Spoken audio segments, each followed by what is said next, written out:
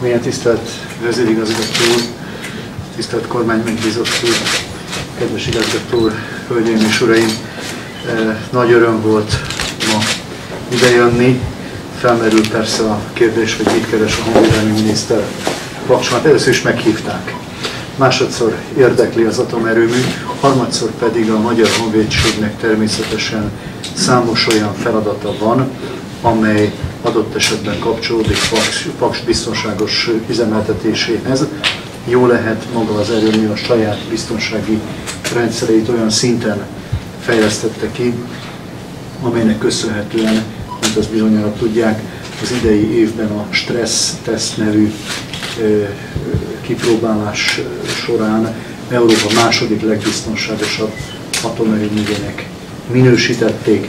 Az erőmű tehát fel van készülve mind az üzemzavar, mind a külső támadás, mind pedig korunk egyik legjelentősebb kihívása a kibernetikai támadások elhárítására. Mégis, miután a Magyar Honvédségnek van szerepe méghozzá alkotmányban, alaptörvényben rögzített szerepe a katasztrófák elleni védekezésben. Nyilvánvalóan együttműködünk a meghatározott tervek alapján, amelyeket folyamatosan egyeztetünk és amelyeket rendszeresen begyakorlunk. Arra, hogy egy ne adja Isten bekövetkező nukleáris baleset esetén a mentesítésben, a mentésben, a kárelhárításban a Magyar Honvédség erői hogyan és miként vegyenek részt. Másik nagyon, nagyon fontos feladatunk pedig az, hogy sajnos 2001. szeptember 11-e óta számítani kell arra, hogy a terrorizmus eltérített polgári repülőgépeket fegyverként használva a kritikus infrastruktúra, vagy az államvezetés, vagy a katonai infrastruktúra meghatározott fontos objektumába belevezetik ezeket a gépeket, és ilyen módon okoznak sok esetben jóvá tehetetlen károkat. Ez megtörtént a New York Ikertornyoknál és a is. Ismert, hogy évente több mint 500 ezer jármű használja hazánk légterét. Ezeknek a figyelemmel kísérése, a légtér rendjének a biztosítása nagyon nagy részben katonai feladat, a Magyar Honvédség feladata. Ezért olyan nagyon fontos, hogy ide nem is olyan messze, Medinán megkezdtük a harmadik háromdimenziós radarnak a felépítését, hiszen hogyha levegőből fenyegető veszélyek ellen föl akarunk lépni, akkor először is ideje korán látnunk kell, hogy mi az, ami közeledik a légterünk felé.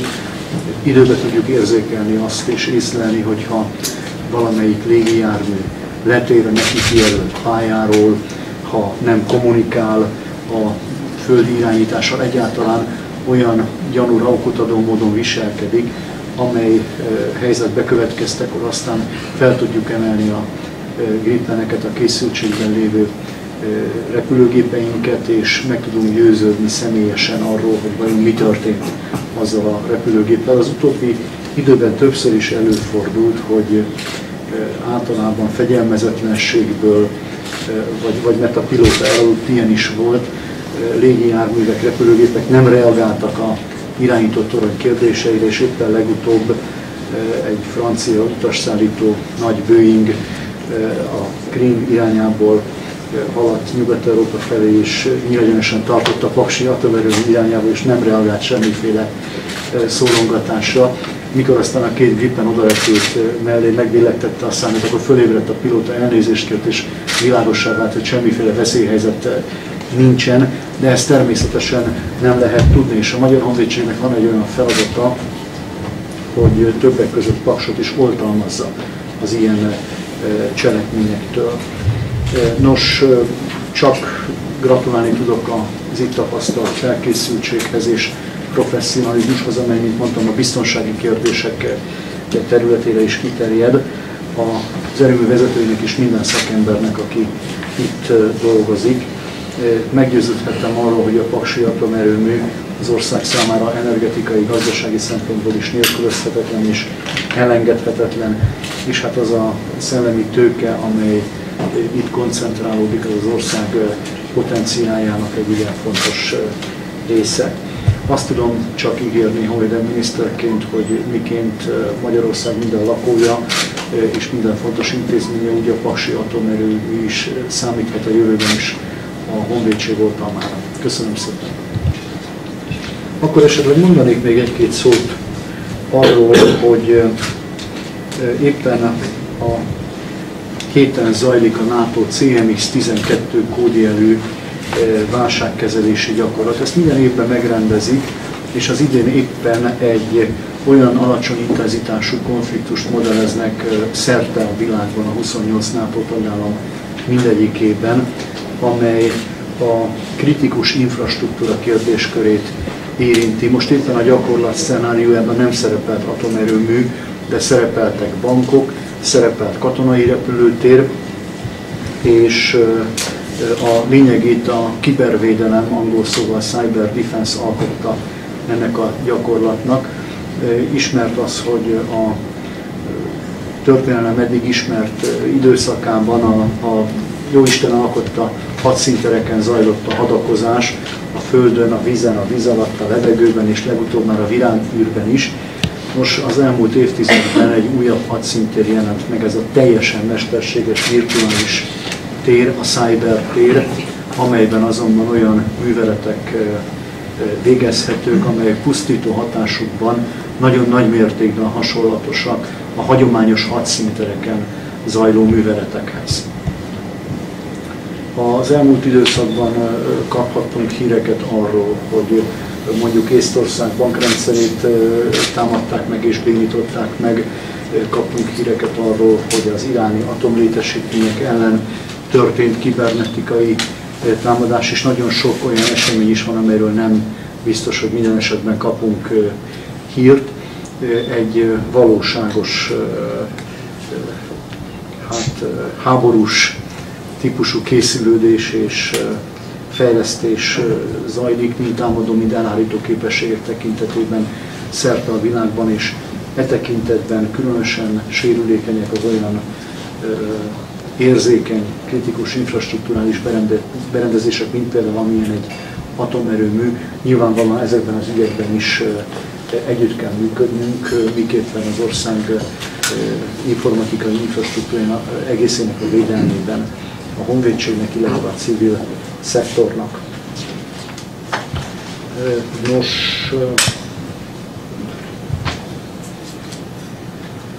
szeretném azt is elmondani, hogy a katasztrófa elhárítási tevékenység a Honvédség három alaptörvénybe foglalt fő tevékenységének az egyik. A legfontosabb feladatunk természetesen az ország fegyveres védelme külső támadással szemben. Ugyanilyen lényeges azonban a katasztrófák elleni védekezésben való részvétel, ez magába foglalja a felkészülést, a megelőzést, a védekezést és a helyreállítás feladatait is a Magyar Honvédség létszámánál, szervezettségénél és nem utolsó sorban speciális eszközeinél fogva ö, olyan képességekkel rendelkezik, mint az ország egyetlen más szervezete sem.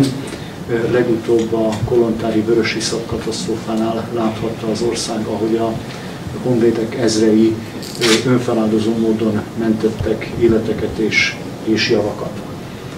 Ez az a képesség, amelyre a nukleáris balesetek megelőzése és az esetlegesen mégis bekövetkező balesetek következmények elhárítása során biztos számíthat az erőmű vezetése is, és az egész ország. Köszönöm szépen! Lenyűgözött az a tervszerűség, gondoltság és szakmai színvonal, amit, amit láttam. Nem véletlen az, hogy a idei most ezt teszten külső objektív pártatlan értékelő egész elég valamennyi atomerőművek közül a paksi atomerőművet minősítették a legbiztonságosabbnak. Természetesen a honvédségnek számos feladata, funkciója van katasztrófa védelem területen, katasztrofák következményének elhárításában, sőt azok bekövetkezésének a megakadályozásában is, és amióta létezik a Paksi atomerőmű, azóta együttműködik a magyar hadsereggel, hiszen vannak olyan funkciók, amelyeket értelemszerűen csak a honvédség tud ellátni. Ilyenek például a levegőből érkező esetleges fenyegetések, amelyek sok esetben nehezen beazonosíthatók, hiszen van arra az elmúlt esztendőkből sajnos nemzetközi tapasztalat is. Itt most a New York ikertornyok lerombolására és a Pentagon megtámadására gondolok, hogy terroristák ártatlan civil utasokkal teli polgári repülőgépeket eltérítenek, hatalmukba kerítik, és öngyilkos merénylőként a gépeket magukat fegyverként használva okoznak hihetetlen károkat. Hát el lehet gondolni, hogy egy ilyen repülőgépnek a becsapódása mondjuk egy atomreaktor valamiféle pusztító folyamatokat indíthat. Ezért nagyon fontos az, hogy a Magyar Honvédségnek legyen olyan radarrendszere, amelyel e, tudja kontrollálni, ellenőrizni azt, amit egy fél millió, 500 ezer légijárművet, amely évről évre igénybe veszi hazánk légterét. Ez úgy kell elképzelni, hogy a, a légi irányító központok azok folyamatosan figyelemmel kísérlik az összes repülőgép mozgását, és lényegében folyamatosan kontaktusban vannak velük, és így győződnek meg arról, hogy minden rendben van a fedélzeten, és a gép arra megy, amerre mennie kell azonban időről időre előfordul, és mindig csak utólag derül hogy mi volt ennek az oka. Hogy egyrészt azonosítatlan repülőjármű becsámborog valahogy az országban, vagy pedig egy egyébként ismert és beazonosított repülőgéppel veszik hirtelen a rádió kapcsolatot, vagy térrel neki megszabott pályáról. Legutóbb talán egy-két hete történt hasonló eset, viszonylag gyakran megesik el. Akkor éppen a Krímfélszigetről indult francia nagy utasszállító repülőgéppel vesztettük el a kontaktust, nem reagált a irányítóközpont felhívásaira, és nyílegyenesen repült Paksába. Kénytelenek voltunk két gripent felemelni, a gripenek oda repültek a Boeing mellé, kicsit elfordították a szárnyokat, megmutattak a hasuk alatt lévő rakétákat. Körülbelül ez volt az a pillanat, amikor a francia pilóták fölébredtek a evér utáni szúnyókálásból, elnézést kértek, visszakapcsolták a rádiót, és ezek után udvariasan kikísérték őket hazánk légteréből. Nos, ilyen eseményekre fel kell készülni, és ebben nyilvánvalóan a honvédségnek van feladata és kötelessége. Fel vagyunk erre készülve? Tehát van elegendő ember és technika ahhoz, hogy ezt a feladatot megfelelő színvonalon el tudják végezni? Maximálisan fel vagyunk készülve, kiváló szakembereink vannak, és a paksi erőmű és az egész ország számíthat a honvédség oltalmára. Úgy tudom, hogy más is, nem csak Magyarország, tehát külföldön is hasonló feladatokkal bízzák meg a magyar honvédséget. Mekkora területen, mely országokban van már szerződés ilyen feladatra, és várhatóak-e továbbiak? 2015 és 18 között fogunk részt venni Észtország, Lettország és Litvánia, vagyis a három balti állam légterének a felügyeletében. Ezek a NATO tagországok csatlakozásokkor a szövetséggel egyeztetve úgy döntöttek, hogy nem szerzik be, nem vásárolják meg és nem tartják meg az egyébként igen költséges légierőt, hanem helyette más katonai képességeket, főleg a szárazföldi erőket fejlesztik, és azzal járulnak hozzá hozzá a kollektív védelmi feladatokhoz. Miután a NATO teljesen egyenjogú tagállamok szolidáris védelmi szövetség, ebből következik, hogy azokat a katonai képességeket, amely adott tagállamoknál hiányoznak, azt más tagállamok bocsátják az ő rendelkezésükre. Most ezért van az, hogy rotációs alapon a NATO tagországai látják el a Baltikon légterének a védelmét, ebbe a feladatba 2015 után bekapcsolódni.